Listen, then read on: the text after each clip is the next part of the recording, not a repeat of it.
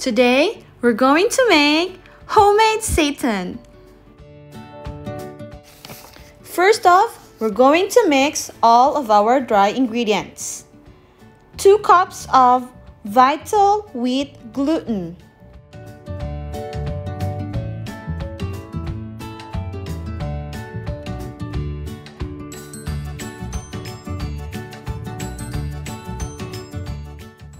One half cup of chickpea flour. 1 half cup of nutritional yeast. Add some spices. For this one, I add 1 tablespoon of allspice, 1 tablespoon of paprika, and a little bit of black pepper. These are all of our dry ingredients and we're going to mix it.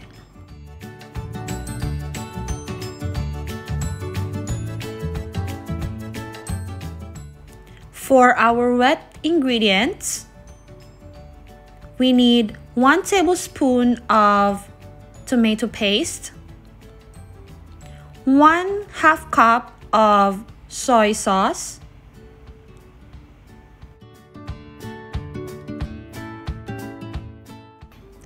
and 1 and 1 half cup of hot water. Mix the wet ingredients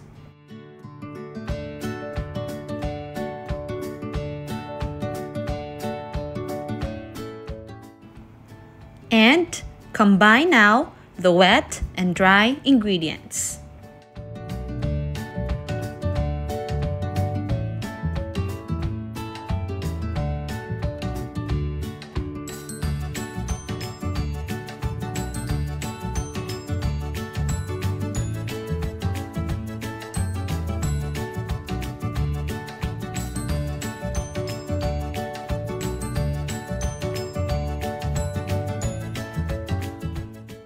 Now, it's time to knead for 2 to 3 minutes.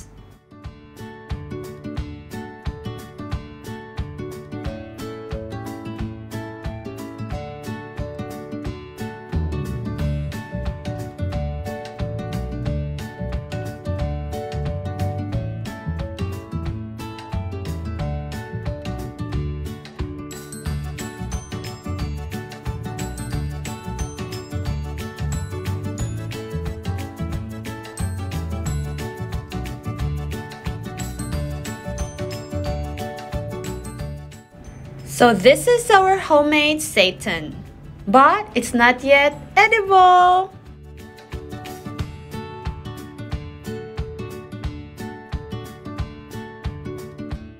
Now, we're going to wrap it in a wrapping film for food.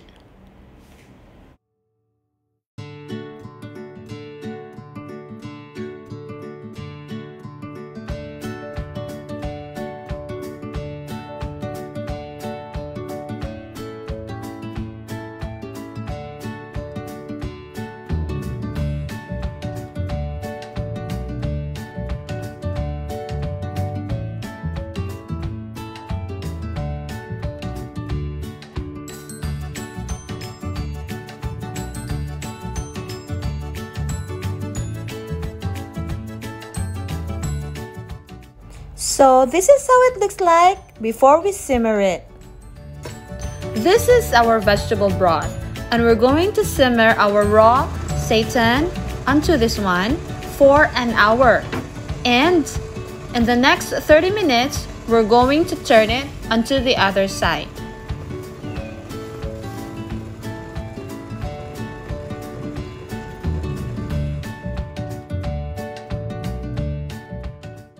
This is our finished product, our homemade seitan or seasoned gluten.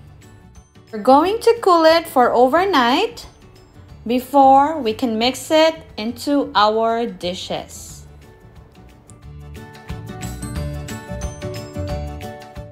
Now you can try your own homemade seitan or seasoned gluten and let's take little steps to be healthy.